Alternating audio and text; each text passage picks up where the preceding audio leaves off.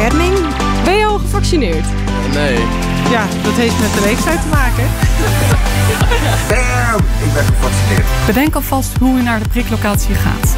Dat kan met de fiets, het openbaar vervoer of met de auto. Net gevaccineerd is super blij.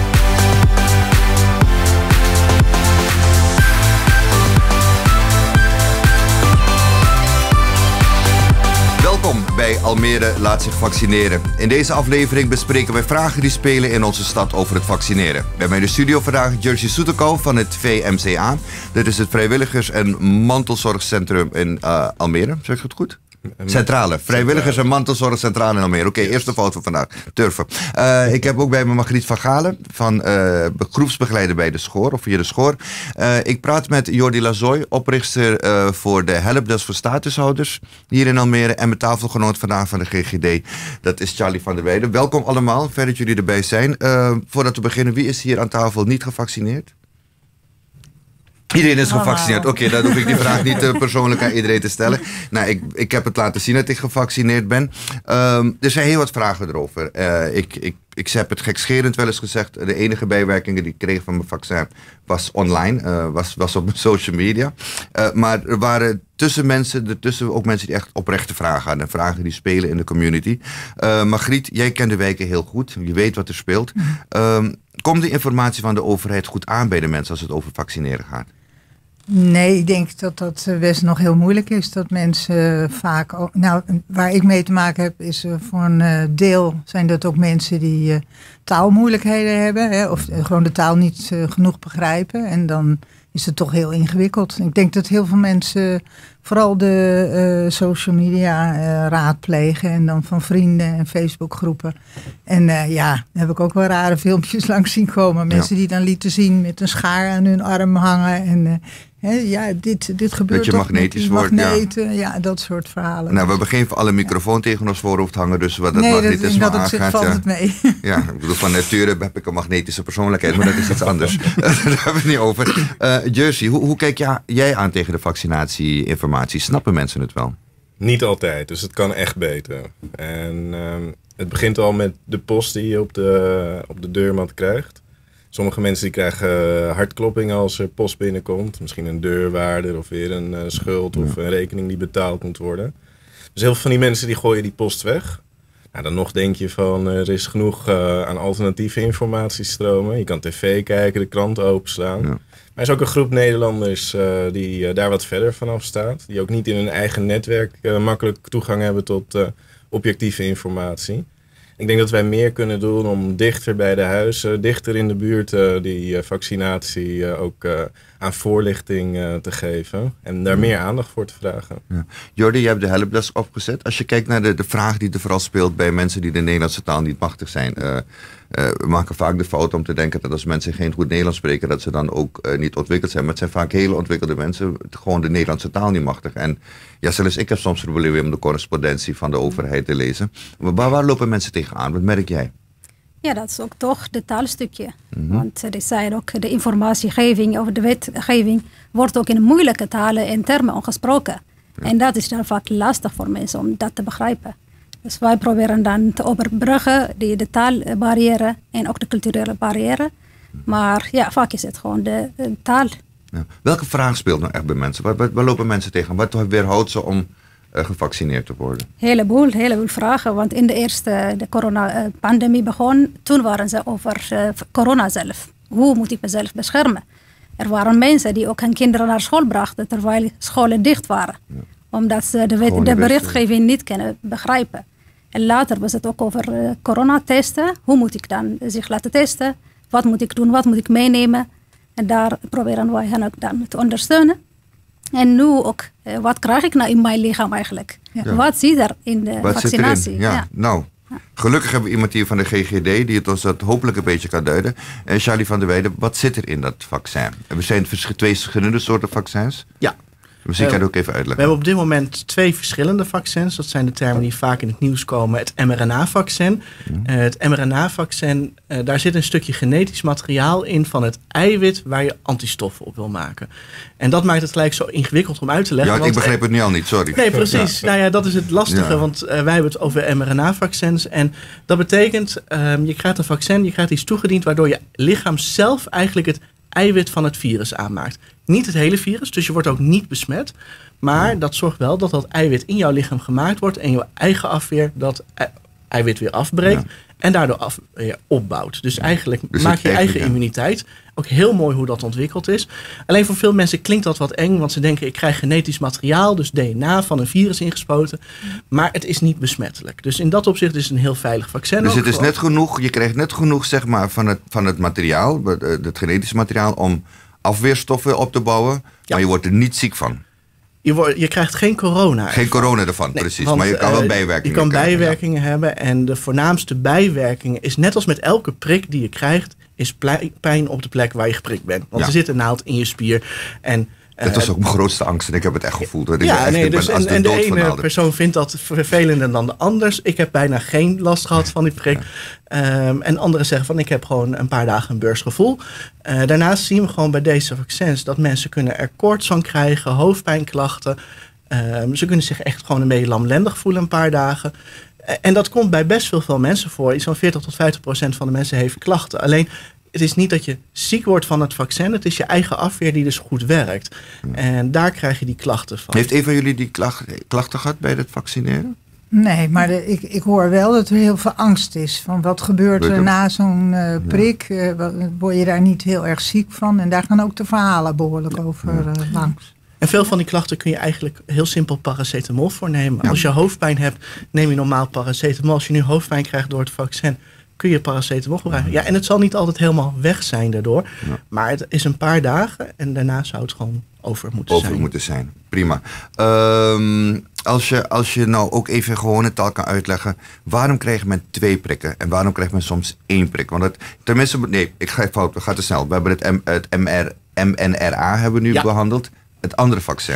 Het andere vaccin, dat is een aangepast verkoudheidsvirus waar antistof van het vaccin aan toegevoegd is. En dat is natuurlijk altijd lastige. Vaccins zijn heel ingewikkeld. En om ze heel simpel uit te leggen, wordt al vaak, dan klinkt het eng. Eh, maar het virus zelf, wat gebruikt wordt voor het vaccin, is niet besmettelijk. Dus je wordt niet ziek van het virus. Het zorgt alleen voor dat het stukje eiwit, en dat is hetzelfde stukje eiwit als voor die mRNA-vaccins, alleen krijg je het toegediend. eh, zodat je eigen lichaam daar ook op reageert. En ook daar kun je niet ziek worden van het vaccin zelf. Alleen de bijwerkingen zijn vergelijkbaar. Dat is eh, meer dan duidelijk. Jersey, ehm, je hebt geen bijwerking gehad van het vaccin? Ik heb hoogstens wat bredere schouders gekregen. Ja, ik kreeg maar- vandaag opmerkingen van wat heb je gedaan. Je ziet er goed uit, jongen. Ja, het is- ja, je krijgt de brede schouders van.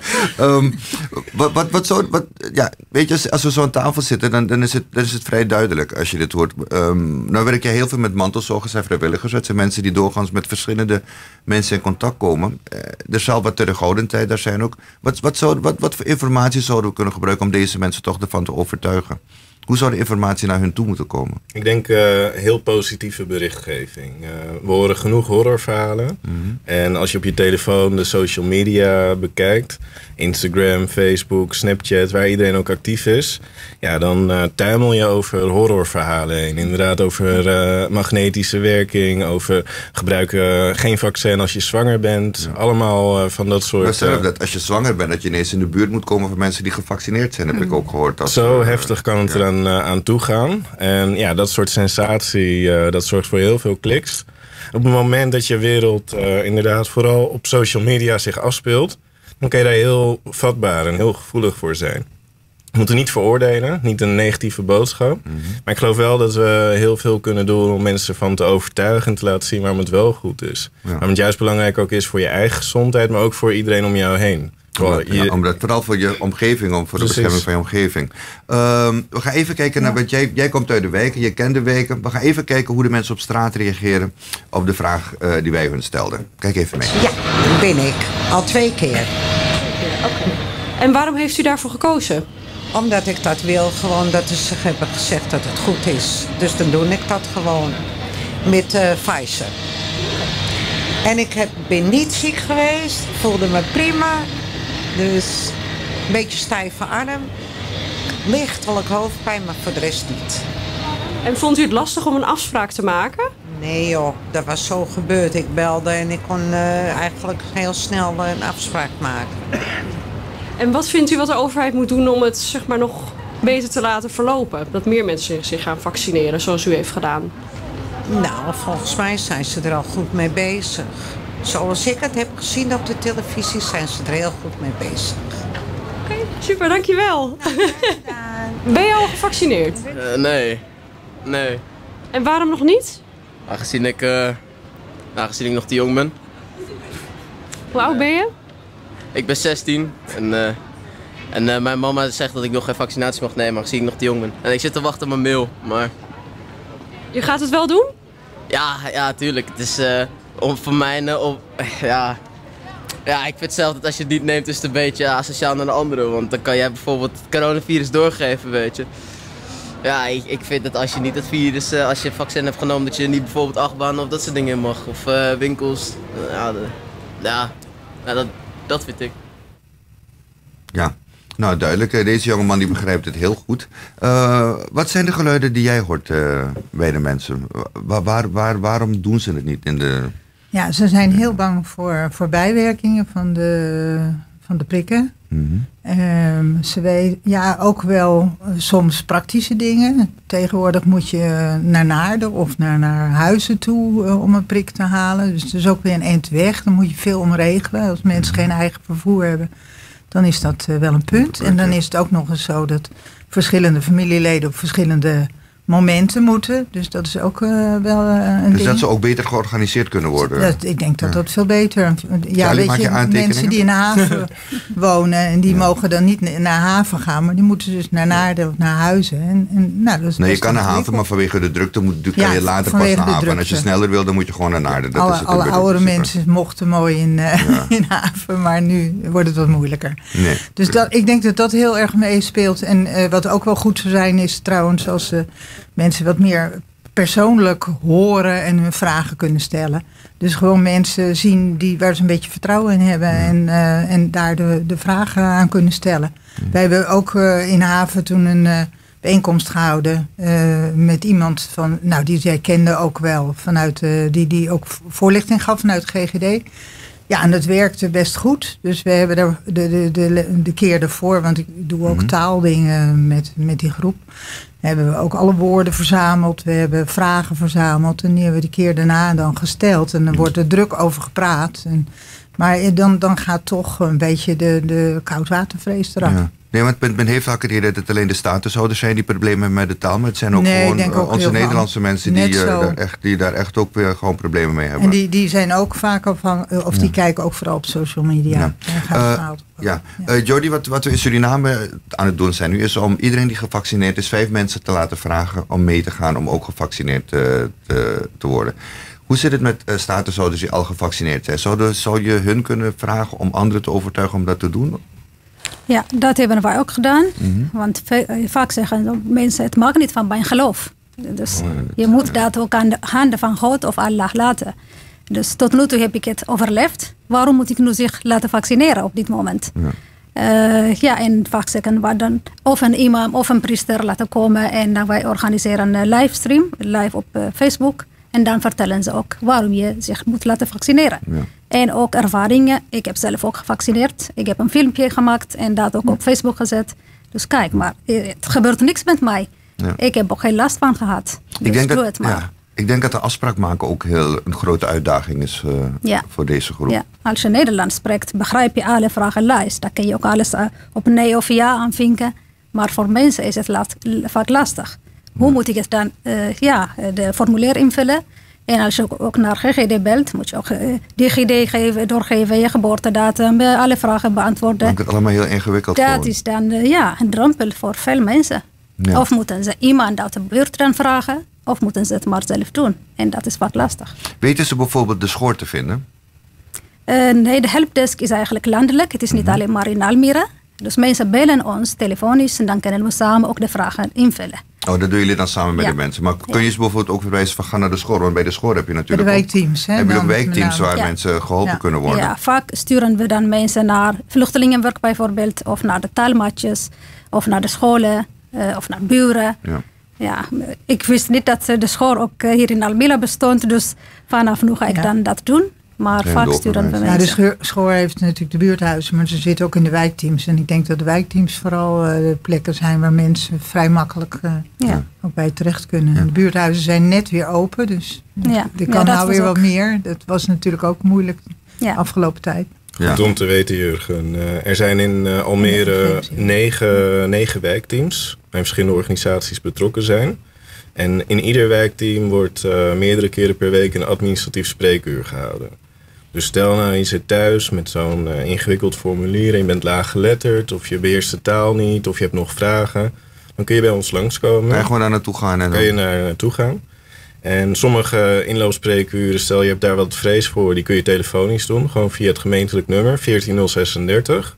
En anders kun je altijd eh, in een wijkteam in, je, in jouw eigen buurt kun je langskomen lopen. Dan kun je daar aankloppen en dan eh, word je daarmee geholpen. Dus dat is een heel praktische ondersteuning, juist ook voor de mensen waar we het eh, nu over hebben. Ja. Ehm, nog even, nog, nog even één vraagje, ook voor ehm, Charlie.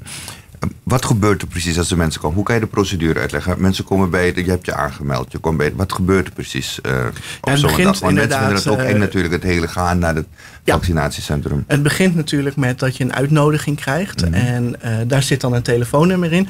En daar is gelukkig ook wel een slag in geslagen. Want eerst was dat alleen Nederlands en Engels. En er wordt nu met een language line solution gewerkt. Dus er kan ook een tolk ingezet worden in heel veel verschillende talen. Oh, fantastisch. En eh, dus dat eh, wordt zowel voor testen als voor vaccineren is dat het geval. Eh, dus daar kan men aangeven dat ze een tolk nodig hebben. Dus je hoeft niet altijd iemand uit je omgeving op de speaker erbij te hebben als, dat als dat moeilijk te realiseren is. Dus Ja. ook daarvoor eh, is er hard aan gewerkt op landelijk niveau. Ehm, Daarna heb je inderdaad, eh, is dat een formulier, maar kom je er niet meer uit, kan die ook op locatie worden ingevuld. Want daar zijn ze ook nog. Eh, en dat is de gezondheidsverklaring die voor ons nodig is om te beoordelen, is het voor nu veilig om jou te vaccineren? Eh, of moeten we in jouw geval misschien één vaccin in plaats van twee adviseren? Eh, die is belangrijk, maar die kan ook op locatie en daar wordt die ook besproken. En eigenlijk als dan alles in orde is, krijg je daar je eerste prik.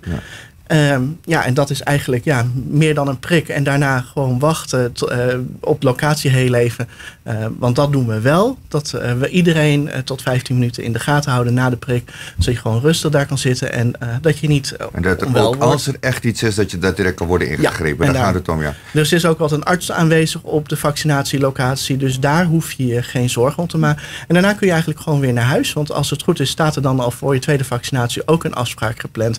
Dus het logistieke gedeelte op locatie, dat is niet zo heel ingewikkeld. Het is vooral het stuk om er te komen. Snap ik dat er voor mensen soms drempels zijn met een brief die je moet begrijpen. Die Maar ja, je hebt nu genoeg, ja, je hebt nu genoeg informatie, Ja. krijg je. Dus ik hoop dat je dat ook meenemen om het eh, toegankelijk... Want jullie, ik weet dat jullie steeds met voortschrijdend inzicht ook Ja. werken... om mensen steeds beter te helpen. Dat vind ik ook fantastisch. Eh, ik ben gevaccineerd en eh, mijn prikje, dat ging er ongeveer zo aan toe. Lieve mede-Almeerders, lieve mensen Ali. Deze Almeerder is gevaccineerd. Kijk, precies hier onder mijn Almere-stickertje. Bam! Ik ben gevaccineerd. En dat wil zeggen dat ik nu beschermd ben. En ik zou fijn vinden als we het met z'n allen zouden doen. Doe het niet alleen voor jezelf, doe het voor je omgeving. Want hoe sneller we onze immuniteit kunnen laten groeien met z'n allen hier in Almere, hoe sneller alles weer open kan. Kunnen we met z'n allen zelf gezellig op de grote markt zitten. Of in de haven komen. Kunnen we gezellig met z'n allen weer leuke dingen doen hier in Almere. En kan onze economie weer aantrekken, want dat is vooral belangrijk. Toch? Samen een filmpje pakken? Laat je eerst vaccineren. Ja, eh, dat was mijn boodschap. Eh, nou is het zo dat mensen zeggen, ja, maar nu gaat het heel goed. Ik bedoel, eh, de besmettingen zijn heel laag. eh, alles mag weer. Je hebt geen mondkapje nodig over waar je komt. Dat zag je ook meteen toen je de appje binnenkwam vandaag. Ehm, waarom moeten mensen zich dan nog wel laten vaccineren? Heel veel van de mensen hebben nu in ieder geval een afspraak kunnen maken. In ieder geval iedereen tot met 18 kan nu al een afspraak maken. Wat natuurlijk wel het probleem is, we hebben ook mensen gevaccineerd die van zichzelf problemen hebben met hun immuunsysteem. Die medicatie gebruiken of een ziekte hebben waardoor ze minder goed op het vaccin reageren. Mhm. En er zijn mensen waar om deze reden bijvoorbeeld een vaccin niet mogelijk was op dat moment. Dat betekent dat we nog steeds mensen hebben die kwetsbaar zijn. Eh, en om die mensen te beschermen wil je eigenlijk dat de mensen eromheen zich ook laten vaccineren. Want we zien natuurlijk in het buitenland nu de situatie met varianten, et cetera. Dat zal voor gevaccineerde mensen op dit moment geen probleem zijn. Maar zie je mensen met eh, een verminderde afweer, zij zouden opnieuw kwetsbaar kunnen zijn om toch ziek daarvan te worden. Als het vaccin bij hun niet is aangeslagen. Want dat, dat kan gebeuren. Dat kan gebeuren, ja. Eh, nou, ik ga even nog een, een, een rondvraag doen. Even kijken van eh, ja, wat we allemaal eh, nog willen weten eigenlijk. Of wat we nog willen zeggen. Eh, dan begin ik bij Margriet. Margriet, had jij nog, wat zou je nog willen toevoegen aan dit gesprek? Ehm, ja, Eh, nou, ik denk dat het, dat het heel belangrijk is dat eh, mensen die, die angsten overwinnen in ieder geval. En dat ze dus, eh, en, en dat ze dus ook persoonlijk eh, kunnen makkelijk op mensen af kunnen stappen om hun vragen te kunnen stellen. Dat, dat, Gewoon die drempelvrees Die overwinnen. drempel is heel belangrijk, dat die eraf gaat. En, en dan zal het allemaal wel wat makkelijker worden. Want ja, het blijft natuurlijk ingewikkeld als, je, als je het weg niet weet. Ja. Ja. Nou, ik hoop dat jullie daarmee doorgaan. Dat weet ik ook. De schors zit daar echt heel goed in. Dus daar, dan bedankt daarvoor. Eh, dan ga ik even naar, naar Jordi. Ehm, ja, wat, wat, wat wil jij nog zeggen aan de mensen die kijken? Eh, ja, ik wil zeggen, er, is- er is heel veel informatie beschikbaar. Maar ja, het is niet echt altijd aansluitend bij de behoeften van de mensen. Dus ik zou zeggen tegen GGD vooral gewoon. Er is wel een tolktelefoon, zei u net, maar mensen weten dat niet. Dus maak de informatie ook toegankelijk voor iedereen. En laagdrempeliger. En mensen thuis, nou, laat, laat jezelf vaccineren, want je beschermt niet alleen jezelf, maar ook de ander, je naaste. Precies. Dankjewel. Jersey? Richting eh, de mensen thuis, Ja. laat je vooral eh, vaccineren. En heb je vragen of twijfels, eh, vraag het iemand in jouw omgeving. Er zijn heel veel mensen die daar eh, heel veel eh, informatie over hebben. En richting eh, de GGD en eh, autorisaties, maak het zo makkelijk mogelijk.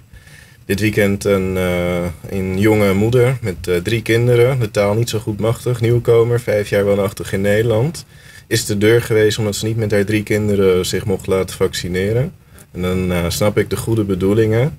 Maar dat is al een moment waarop zo iemand die die drempel uiteindelijk wel heeft overwonnen weer afhaakt. Dus mijn oproep, maak het zo makkelijk mogelijk en breng het zo dicht mogelijk bij de mensen. Ja, precies. In Amerika kan je zelfs bij de drogist je laten vaccineren tegenwoordig. Ehm, ik hoop dat, ja, je, ja, nog één keer. Ja, Charlie, wat, wat, wat, wat kunnen we verwachten nog van de GGD om het makkelijker te maken? Nou ja, voor de GGD, het stukje social media is nog steeds altijd. eh, aan de ene kant eh, willen we daar meer mee. Aan de andere kant is het soms uitdagend van. ehm, hoe laagdrempelig maak je het? Omdat je natuurlijk. Het is een officieel communicatiekanaal. Dus eh, er zit altijd wat. ehm, ja, verschil van mening in het land hoe je daarmee omgaat. En eh, we proberen er steeds beter een weg in te vinden. En met name omdat er op social media zoveel eh, ja, eigenlijk fake nieuws is. En ik denk dat dat ook mijn oproep vooral zou zijn. Eh, let goed op van wat je ziet en neem niet die ene boodschap op eh, Facebook dan altijd voor waar aan.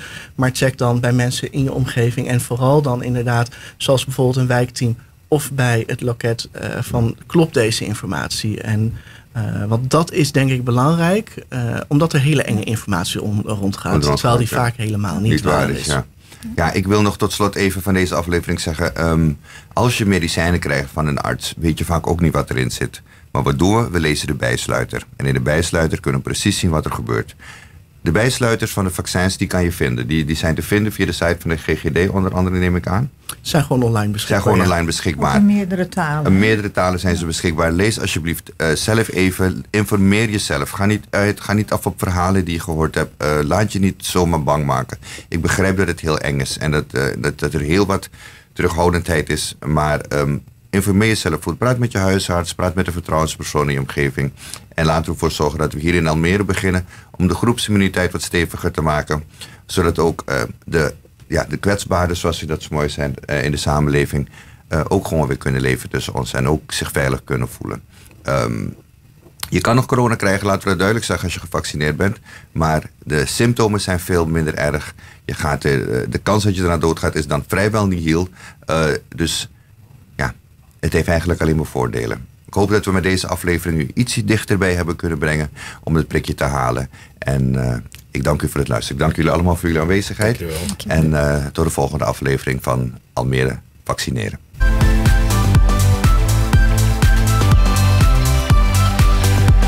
Uh, ja, ter bescherming. Bam! Ik ben gevaccineerd. Net gevaccineerd super blij.